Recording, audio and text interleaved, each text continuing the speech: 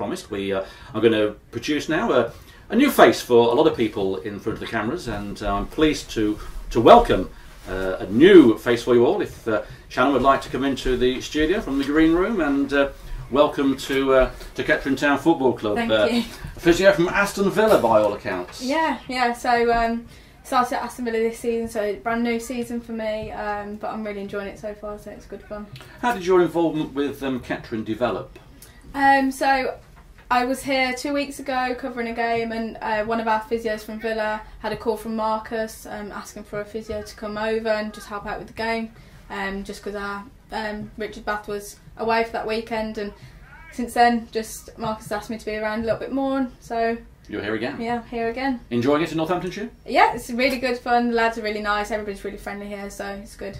That can all change, you know. yeah, I'm sure. I'm going to mention uh, Eva Carneiro now um, yeah. from uh, Mourinho. Yeah. It um, was, obviously was some um, spotlight news nationally, if not um, over the world, about his um, treatment of one of the uh, medical team there. What are your views on that? Should, should managers have that medical knowledge or not, or just leave the professionals to get on with it? Um, I think definitely you you all have your role within the football club. Coaches have their role, physios and medical professionals have their role, and I think you should keep them separate as far as that goes. I think the treatment of Eva was very unfair. It's harsh. Um, she was only doing her job at the end of the day. The referee has called her on, and as a medical professional, you're there to do your job, and the health and safety of the players is your, is at the forefront of what you do. So, I think it's highly unjust and a bit unfair on her, really. Yeah, it does seem that, doesn't it? You know, I mean, there does seem to be a, a more influx of lady physios mm-hmm. actually at games now. That must be a good thing, you know, for you, and uh, it's better for, a better sight than seeing some of the men amble onto the uh, the pitch. Yeah. You must get a bit of stick at uh, various places. I oh, did, didn't you? you know? Yeah, definitely. There's a lot of banter that flies around being a female in a male-dominated environment, um, but you just got to take the good with the bad, give it, a, give them it back a little bit, and you just sort of get on with it that way. I think. Have you found the fans here at Kettering? Uh, I had a few comments running around the picture of the week with my water bottles. Um, some of the comments I probably can't repeat here, but um, no. you could, but we get locked. but no, it, they're not. They're, everybody's really nice so far. One thing we've got to ask about the, the old myth of the magic sponge. Has that gone now? And what was actually the magic sponge? Was it just like a sponge and water, like in my day with uh, the abacus and? Uh... Yeah, it's a bit. It, that that's long gone now. It's not not about the sponge and uh, the water, as they say. Uh, it's more uh, the, I mean, the medical professional is is is one that's high, highly evidence based. A lot of what we do now, um, a lot of thought has gone into it. It's not just um, sticking some water on them and hoping that they get better. I've got a very painful knee, you know. I, I, I, get that all the time everywhere I go. Is my knee's hurting, but um, no. I've got to try, you know. yeah.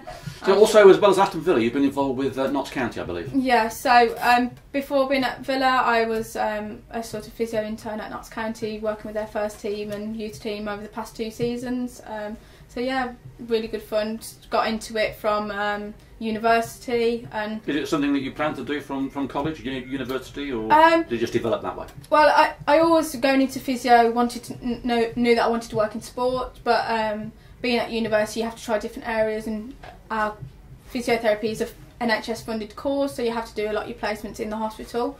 Um, but I thought I'd want to get a little bit of experience. I got in touch with the physio there, and uh, the rest is history, I suppose. So today, are you assisting Richard, or are you in prime position today? Uh, I more so I'm assisting Richard. I mean, he's the he's the sports therapist here, and I'm just coming in for a helping hand where he needs. So, um, so helping out with rehabs, helping out with assessing injuries. So, yeah, you might see him on the pitch. Otherwise, I'm just in the dugout. Mind you, the, you're right about being a medical professional. There was that incident in was it Spain where uh, uh, a player went down, didn't mm-hmm. he? And one of the players actually stopped him from choking before yeah. the actual uh, physios got on there. There's more of that now, isn't there? There seems to be more uh, fateful injuries in football. Yeah, definitely. And I mean, going back to the Eva Carneiro incident, and even things like Fabrice Muamba, you you've got seconds seconds to be on that pitch, and it's a matter of life and death. And not all injuries are fatal. A lot of them, ninety percent of them, aren't. But again, those seconds matter. So I think it's very important to have us on the side of the pitch and for us to be doing our job properly.